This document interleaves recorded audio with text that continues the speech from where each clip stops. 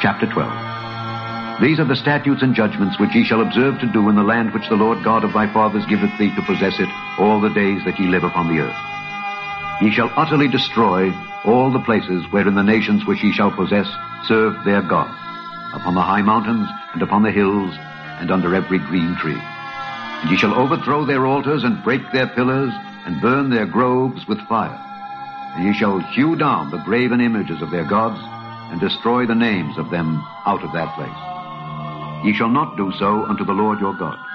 But unto the place which the Lord your God shall choose out of all your tribes to put his name there, even unto his habitation shall ye seek, and thither thou shalt come.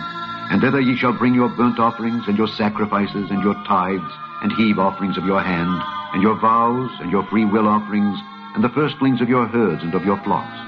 And there ye shall eat before the Lord your God, and ye shall rejoice in all that ye put your hand unto, ye and your households, wherein the Lord thy God hath blessed thee. Ye shall not do after all the things that we do here this day, every man whatsoever is right in his own eye.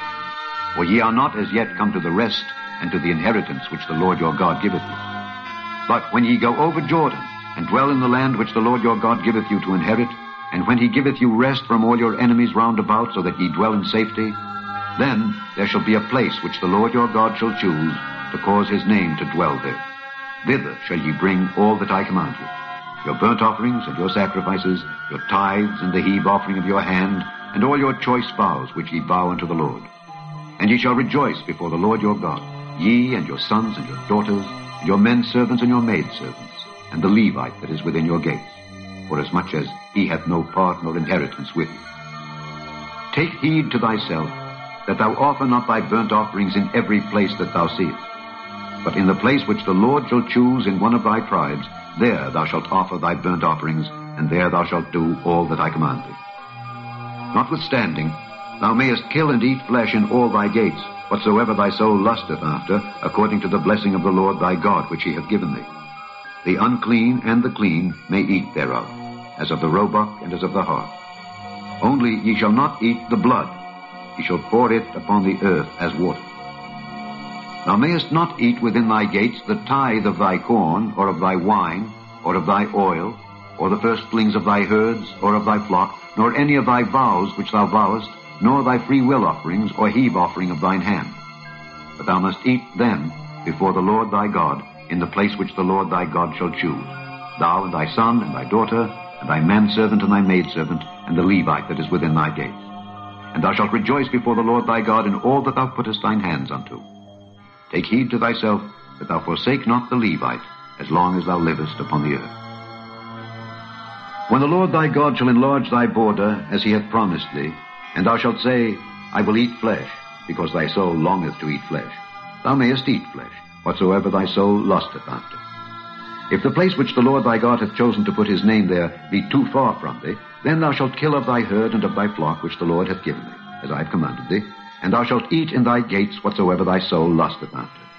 Even as the roebuck and the hart is eaten, so thou shalt eat them. The unclean and the clean shall eat of them alike.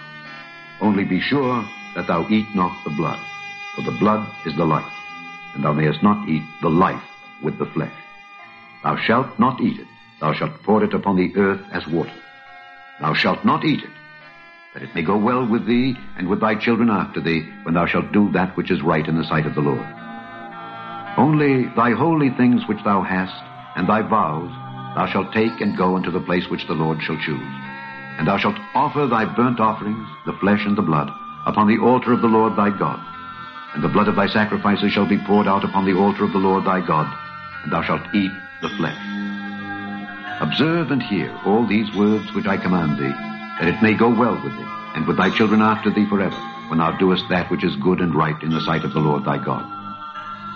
When the Lord thy God shall cut off the nations from before thee whither thou goest to possess them, and thou succeedest them, and dwellest in their land, take heed to thyself that thou be not snared by following them, after that they be destroyed from before thee, and that thou inquire not after their gods, saying, How did these nations serve their gods? Even so will I do likewise.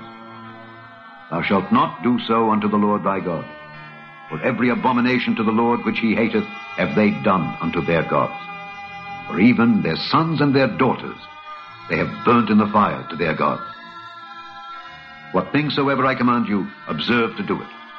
Thou shalt not add thereto, nor diminish from it.